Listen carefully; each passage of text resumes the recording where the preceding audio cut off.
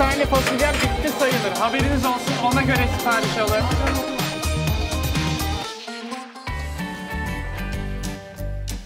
Lezzetin ustaları Cumartesi Bean Gurme'de.